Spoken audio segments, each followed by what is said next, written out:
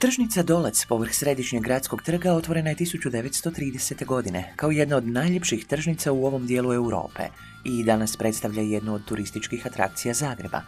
Kombinacija je otvorene za voće i povrće i zatvorene za meso koje se nalazi ispod otvorene tržnice.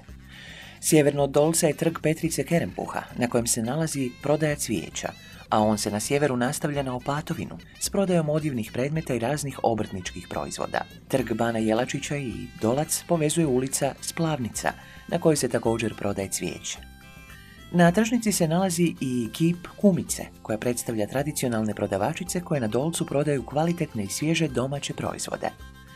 Čest gost Dolca bila je naša poznata kuharica Lorena Meda.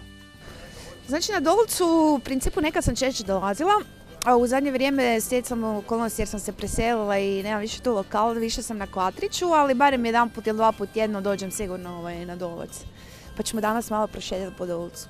Možemo li još uvijek na Dolcu naći domaću, zdravu hranu kod kumica ili su tamo uglavnom preprodavači? Ima sigurno par e, tetica koje, znači ovih prodavača što ovdje prodaju, koje već onako kad se ti nakon nekog vremena ufuraš u cijelu tu priču, onda ishvatiš, vidiš, neko ti kaže, ali u principu vidiš ko je domaći, ko nije i možeš, naravno neke stvari možeš sigurno ovaj, nabaviti, ne sve, ali možeš. Ekipa Get Reporta na svojim putovanjima pokušava obići i tržnicu u svakom mjestu koje posjeti. Tamo osjećate pravo bilo mjesta u kojem se nalazite. Apsolutno, apsolutno, ne znam. Ja sam odrasla na moru i tržnica je odmah post, normalno i ribarnica tu i to me uvijek veže, ono, znaš, subota, nedelja, starčeki na tržnici, čakule, bla, bla, bla, svi se skupljaju, pije se. Mislim, mislim da je duša apsolutno, tržnica apsolutno duša, ovaj, pa je, duša grada. Dolcem smo prošetali u društvu Lorene Mede i iskoristili priliku da vidimo kako ona bira namirnice, koje cijeni više nego druge i da možda nešto i naučimo.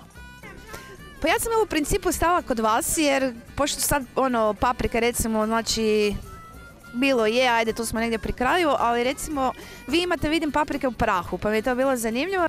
Ono je ljuti feferon tucani vidim, znači kao čili papričica ali mljevena. A ove, tu piše ljuta, slatka i ova, znači vi ih uzgajate i sami meljete. Da.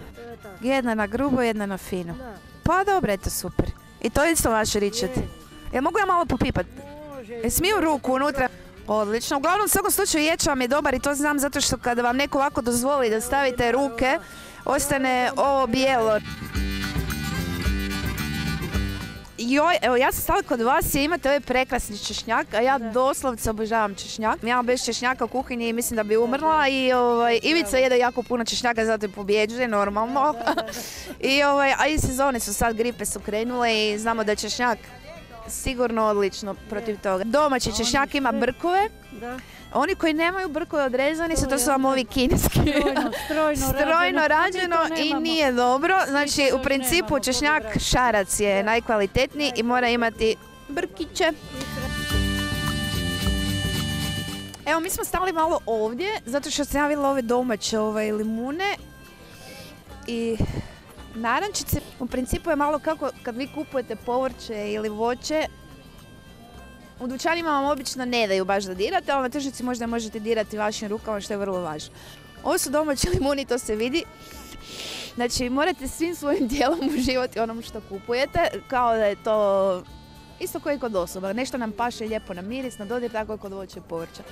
Ovo zaista miriše po limuni, to je fenomenalno. Domaći su i rekla je teta Snježana evo da su ih prije dva dana baš brali.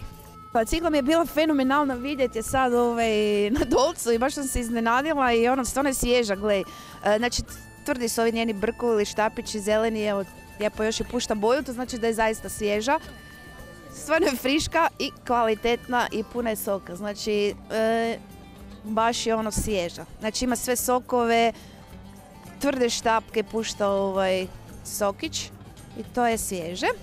Raštika je sad sezona, obožavamo raštiku, možete kuhat, ona je isto baš je ono, kad je taknete onako još škripi, znači to baš znači da je svježa. Isto tako kao što je u životu, tako isto u voću, povrću, svemu treba biti prvo na oko lijepe, vedre boje. Drugo, na dodir mora, to mora biti čvrsto, to mora biti škripavo, to mora biti svježe. I treće, mora imati miris normalno. Ako nema miris, onda već znate da to možda radi se o nekoj industrijalnoj znači većoj proizvodnji, da možda nije domaće, nije iz vrta ili je špricama i tako dalje. Definitivno se tu može vidjeti neka razlika. To vam u principu određuje kvalitetu, a što je najvažnije u principu svježinu je najbitnije da je nešto svježe da bi onda bilo kvalitetno doma. Čimulice raštike fenomenalno, znači mogu biti na lešu, mogu u salatu i možete od njih raditi fenomenalne rižote. Znači rižot s ovom pa si dodajete još nešto predivno i predobro.